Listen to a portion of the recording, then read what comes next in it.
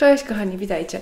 Tematem dzisiejszego filmu jest chlorofil, o którym pisałam Wam ostatnio już na blogu i na Instagramie i o którym film chciałam nagrać tak naprawdę już od e, wielu lat, bo myślę, że 4 lata temu, jeśli nie więcej, pierwszy raz e, kupiłam mój chlorofil na iHerbie i parę miesięcy temu zobaczyłam, że on robi się bardzo, bardzo popularny na zagranicznym TikToku, e, skąd przewędrował troszeczkę w tematach na YouTube i takich filmów też za granicą zaczęło się pojawiać coraz więcej.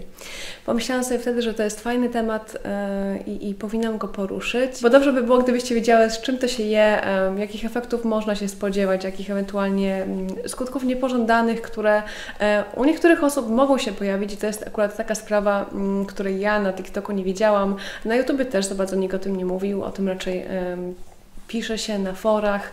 E, natomiast wiadomo, na TikToku znajdziemy dużo e, szybkich, krótkich filmików o tym, że chlorofil działa na to, tamto, śmiato i wam to jest w ogóle fantastyczny.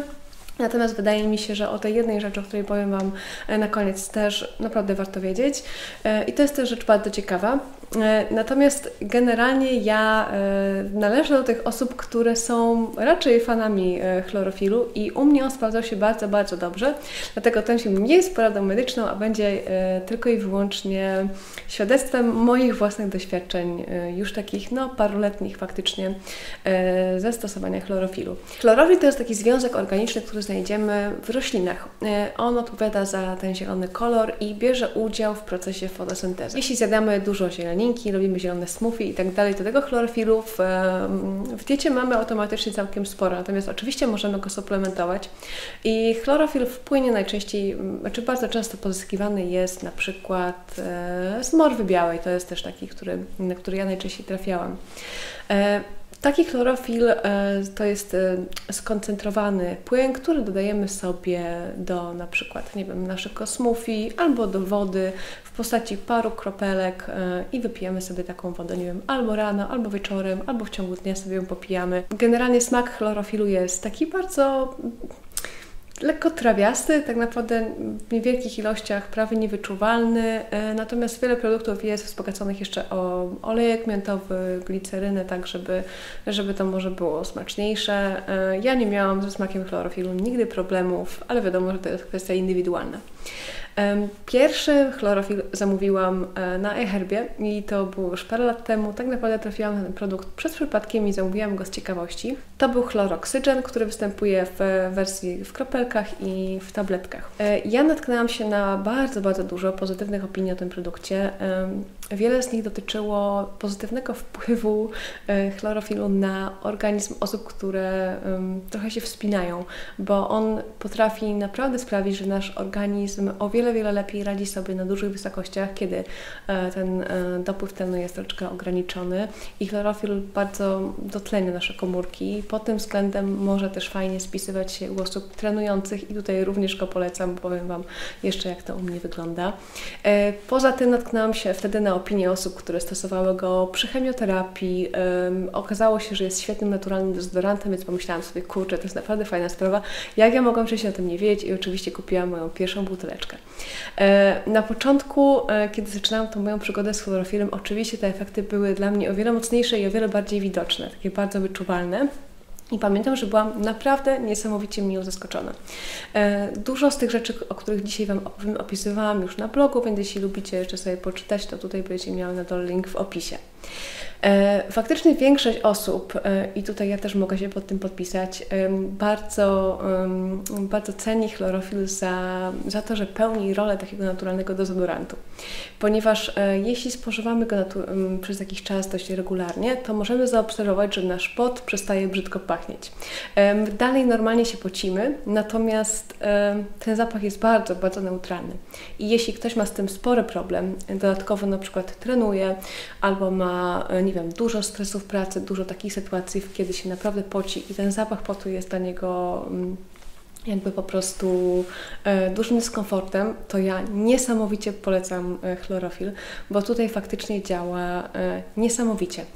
Ja generalnie przy mojej diecie nie mam tego rodzaju problemu, ale faktycznie przez lata y, włączając ten chlorofil i, i, i włączając go z diety, y, nawet po sobie widziałam różnicę w tym względzie. Kolejną bardzo, bardzo fajną rzeczą jest to, że chlorofil pomaga też na ten okropny, poranny oddech. I tutaj faktycznie możemy przestać się martwić, że rano zioniemy na czymś niefajnym, nie wiem, na naszych partnerów. Y, pamiętam, że jedna z osób, które recenzowały chlorofil gdzieś na Amazonie opisywała, że uratowały uratował jej związek, ponieważ poznała swojego wymarzonego faceta, e, którego jednak zapachu z ust nie była w stanie znieść i chlorofil tutaj bardzo, bardzo pomógł. E, e, I już po paru dniach tutaj para odczuwała różnicę, więc mm, taki wpływ na pewno ja też widziałam u siebie.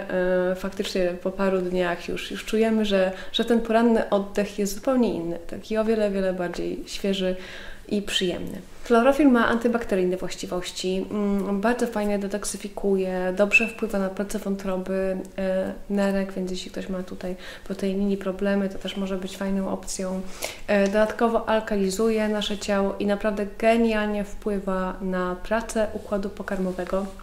I to jest jedna z takich rzeczy, e, które naprawdę widzą chyba wszyscy stosujący chlorofil i e, to też poniekąd wiąże się z tym efektem odchudzającym, który jest tak bardzo szeroko poruszany na YouTube i na, e, i na TikToku ponieważ e, faktycznie chlorofil sprawia, że będziemy częściej chodzić do toalety na dwójeczkę i jeśli na przykład to był dla nas duży, duży problem i chodziliśmy do tej pory, na przykład, no nie wiem, raz dziennie, co drugi dzień albo nawet rzadziej, to tutaj bardzo, bardzo szybko zobaczycie różnicę, gwarantuję Wam to jest naprawdę świetne.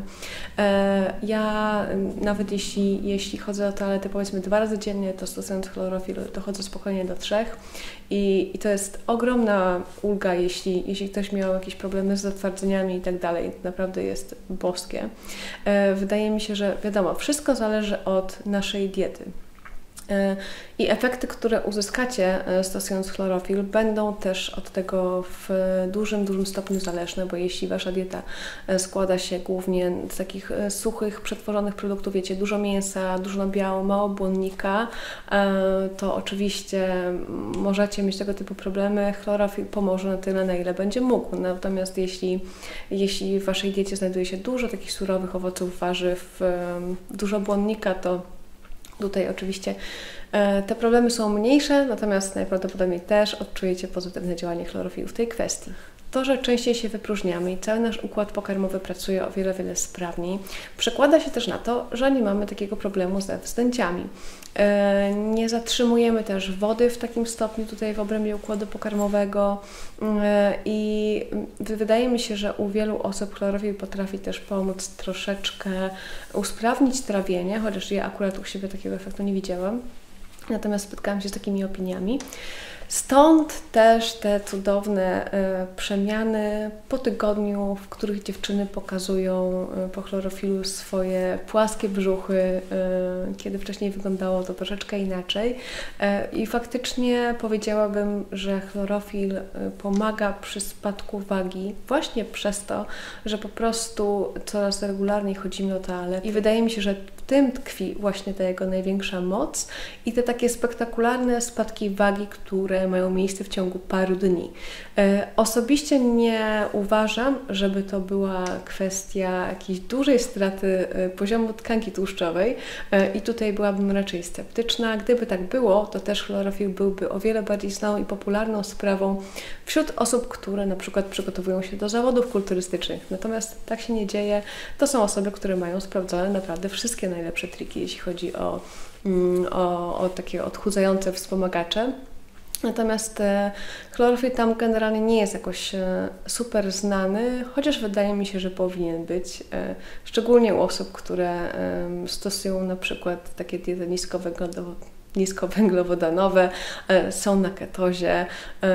Wiadomo, że na ketozie wiele osób też skarży się na taki nieprzyjemny zapach ciała. Wydaje mi się, że chlorofil może być tutaj prawdziwym złotem. Natomiast tak jak mówiłam, nie liczyłabym osobiście na jakieś ogromne mm, na jakiś ogromny wpływ chlorofilu na utratę tkanki tłuszczowej. Natomiast, y, bo wiadomo, że tutaj wszystko rozgrywa się jednak też o, o deficyt kaloryczny stan naszych hormonów, ale też na pewno nie odmawiałabym mu tutaj właśnie tych takich wysmuklających właściwości, więc jeśli, jeśli wzdęcia, zaparcia są Waszym największym problemem, to tak, y, moim zdaniem chlorofil będzie miał tutaj u Was bardzo duże pole do popisu. A ponieważ nasz układ pokarmowy zaczyna pracować o wiele, wiele sprawniej, możemy zaobserwować e, efekty na naszej skórze. Zbawienny wpływ chlorofilu na trądzik to jest kolejna rzecz, która przejawia się jakby w TikTokowych, YouTube'owych filmach. I tutaj dziewczyny bardzo szybko o, widzą różnicę. Już w ciągu paru dni te zmiany zapalne e, delikatnie bledną, stan zapalny się zmniejsza, wszystko się ładnie goi e, i też nie pojawiają się nowe niespodzianki. To jest bardzo ciekawe. E, Wskazuje to tylko na to, że trądzik nie jest e, tylko i wyłącznie problemem kosmetycznym.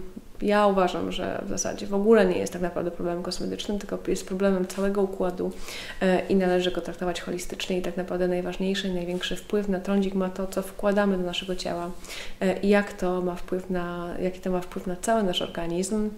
Dlatego jeśli usprawnimy tutaj pracę układu pokarmowego, bardzo szybko możemy zaobserwować taką, takie zmiany na skórze.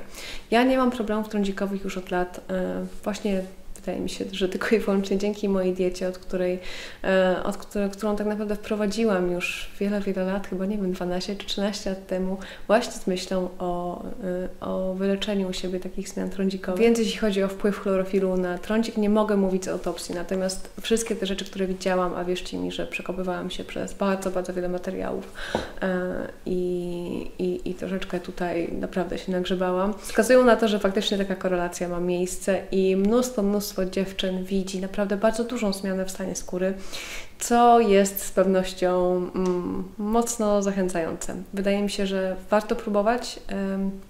I wiadomo, że wszystko generalnie będzie zależało od naszej diety.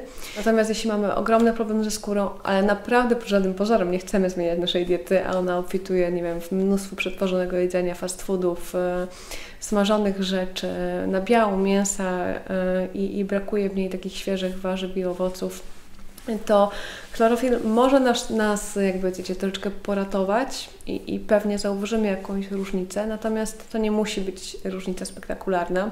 To nie znaczy, że, e, że nie będzie nam pomagał. E, u siebie widziałam efekty porównywalne do, do tych, które widzę, e, kiedy regularnie piję sok selera rano na czczo.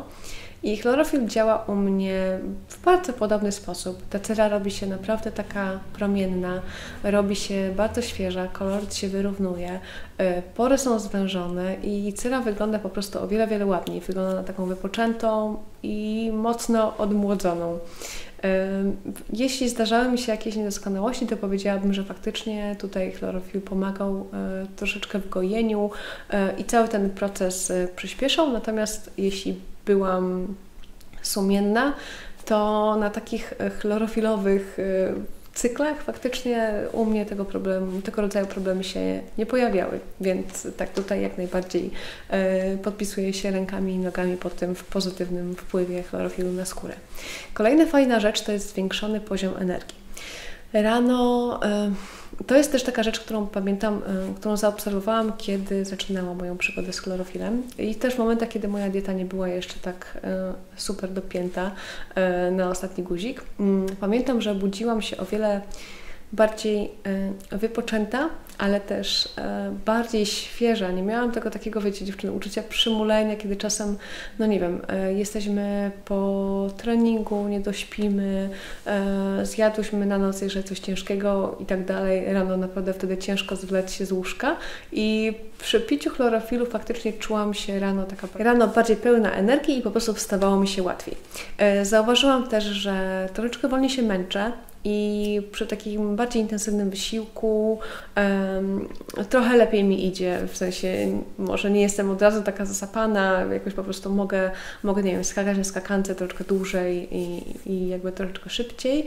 To są takie malutkie różnice, które myślę, że będą mogły wyłapać głównie osoby trenujące e, i tutaj faktycznie chlorofil polecam. Myślę, że też sam fakt e, i to, że e, stosują go, go wspinacze jednak dużo, dużo mówi na ten temat i, i tutaj na pewno on jest bardzo, bardzo skuteczny. Co ciekawe, chlorofil pomaga też troszeczkę e, osobom z anemią, ponieważ będzie usprawniał przyswajanie żelaza. Z tego względu niektóre osoby opisują też, że, że, pomógł im przy wypadaniu włosów, e, właśnie w jakichś takich anemicznych problemach e, i wydaje mi się, że o tym też warto wspomnieć. W ciągu całej tej mojej chlorofilowej przygody sprawdziłam parę marek, e, z czego tylko jedna pochodziła z iHerba, a resztę można bez problemu dostać u nas stacjonarnie. Tak jak mówiłam, z iHerba zamówiłam najpierw chloroksygen i to była ta wersja w tabletkach, miałam bezsmakową i miętową. Generalnie te miętowe wersje są całkiem w porządku, jeśli lubicie miętę, natomiast jeśli nie, wydaje mi się, że takie neutralne też będą, też będą zupełnie ok. E, drugim chlorofilem, który sprawdzałam, był taki e, z firmy Now. On jest w większych butelkach. Generalnie kosztuje u nas około 60, 50 40, nawet czasem 45 zł, to zależy gdzie go kupujemy. E, I on też jest super. Jeśli zależy Wam na takim większym opakowaniu, to tutaj celowałabym w to. Sprawdzałam e, taki chlorofil, który można dostać w sklepach, e, tych ekologicznych sklepach Organic Pharma, chyba z tego co pamiętam. On jest droższy, kosztował około 70 zł. Nie był w żaden sposób lepszy od Nała, ani tych tańszych rzeczy, więc tak średniego polecam. Z tego jeszcze w takich najmniejszych pojemnościach chlorofil e, marki Aura Organics, chyba z tego co pamiętam. I to są takie malutkie buteleczki właśnie chlorofil z morwy. E, chyba najbardziej przystępny cenowo, bo z tego co kojarzę, to można go dostać już za 20 parę, 30 zł. Więc jeśli nie jesteście pewne, czy to będzie rzecz dla Was, a nie chcecie wydawać fortuny, to wydaje mi się, że najlepiej jest celować właśnie w te linki, tam będziecie miały też na dole w opisie. Zanim przejdę do pytań, które zadawały się na blogu, głównie dotyczących stosowania częstotliwości, przerw i tak opowiem o jeszcze jednej rzeczy, e, która może być kluczowa dla osób, które lubią przesadzać z tego rodzaju suplementami albo wyznają generalnie zasadę, że im więcej, tym lepiej. Niestety tak w przypadku chlorofilu nie jest, ponieważ zawiera mm, bardzo dużo miedzi. Wysokie poziomy miedzi y, są przez wiele osób wiązane z różnego rodzaju problemami natury psychicznej. Y, trafiłam już y, jakiś czas temu na bardzo ciekawą książkę. Jej tytuł to, z tego co pamiętam, mm, Copper I See You albo I See You Copper, w której autorka opisuje swoje doświadczenia y, i to, jak bardzo męczyła się mając właśnie różnego rodzaju mm, problemy natury psychicznej, które finalnie okazały się y, wynikać właśnie z takich toksycznych poziomów y, miedzi w jej organizmie.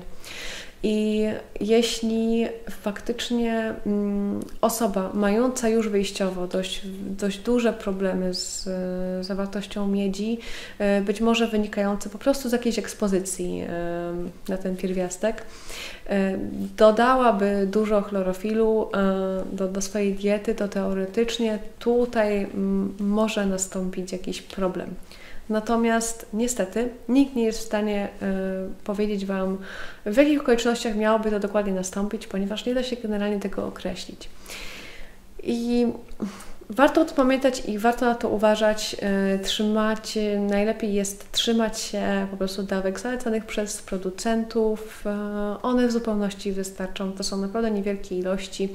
10 kropelek, które rozpuszczamy, no nie wiem, w szklance albo w butelce Wystarcza tego, żeby, żeby zobaczyć pozytywne efekty. Tutaj jedna z Was pytała, czy rozpuszczałam w szklance wody, czy w połowie, jakie to ma znaczenie. E, generalnie w im większej ilości wody rozpuszczamy nasz chlorofil, tym smak będzie mniej wyczuwalny e, i tym generalnie chyba troszkę, troszkę lepiej, mm, chociaż wiadomo, że też nie chcemy rozpuszczać całkiem niewielkiej ilości w dużej butelce. To jest kwestia indywidualna, niestety nie ma jednoznacznej odpowiedzi na to pytanie. Ile czasu trzeba go stosować jak długie robić przerwy? Tak jak mówiłam, żeby zobaczyć jakieś rezultaty, najczęściej potrzeba naprawdę tylko paru dni. E, myślę, że tydzień to jest taki maks, żebyście mogły już coś poczuć, ale najczęściej to są 3, 4 dni, 5 dni. tutaj już będzie, już będzie dobrze. Natomiast mm, ile maksymalnie możemy go stosować i kiedy, jakie robić przerwy, tego tak naprawdę dziewczyny nie wie nikt. Nie da się odpowiedzieć jednoznacznie na to pytanie. Nikt tego za bardzo nie sprawdzał, nie badał, ja nie trafiłam na takie informacje. To jest naprawdę bardzo nieokreślona rzecz i, i wydaje mi się, że to jest też kwestia tak indywidualnych interakcji między danym suplementem a naszym organizmem, stanem naszego organizmu. Nie da się tutaj stwierdzić czegoś e, ze szczególną pewnością. Czy suplementacja spiruliną będzie miała taki sam efekt? E, jak to wygląda w, w kwestii zawartości chlorofilu? E, ja spiruliny używałam bardzo, bardzo długo i tak, spirulina może mieć podobny efekt e, i też wiele osób podobne rzeczy przy suplementacji spiruliną opisuje. Tak samo jest z chlorellą. Natomiast spirulina jeśli chodzi o spirulinę, trzeba bardzo pilnować dobrych źródeł, ponieważ spirulina może zawierać metale ciężkie, których nie chcemy zjadać, mm, wiadomo. E, przy suplementacji spiruliną powinny też uważać e, i, monitorować to bardziej dziewczyny, które mają problemy z tarczycą, szczególnie nadczynność, ale również niedoczynność. To jest taka sprawa, która jest bardzo ciekawa, ponieważ tutaj zarówno zbyt niskie dawki jodu, jak i zbyt wysokie mogą działać bardzo niekorzystnie, więc generalnie mm, jeśli miałabym porównać, tutaj spirulina y, może mieć troszeczkę więcej. Y, stosowanie spiruliny może być troszeczkę bardziej skomplikowane. Może tak bym to ujęła. Czy chlorofil w kapsułkach będzie miał takie samo działanie? Jeśli tak, czy możesz jakieś polecić?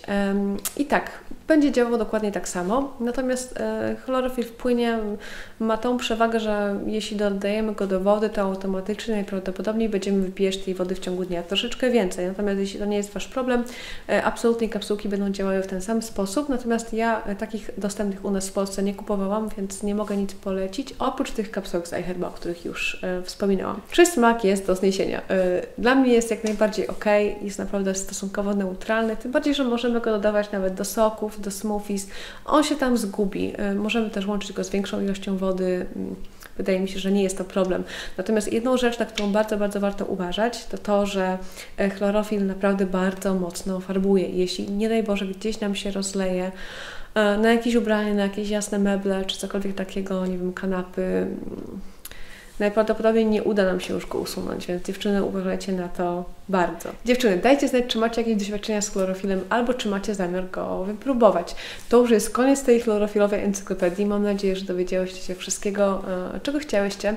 Jeśli macie jakieś pytania, to oczywiście piszcie. E, a jeśli film Wam się podobał, to będzie mi bardzo miło, jeśli dacie łapkę w górę albo słupka, e, żebym mogła opowiadać Wam dalej o dziwnych rzeczach. Dzięki Wam ślicznie za uwagę i do zobaczenia w następnym filmie. Pa, pa!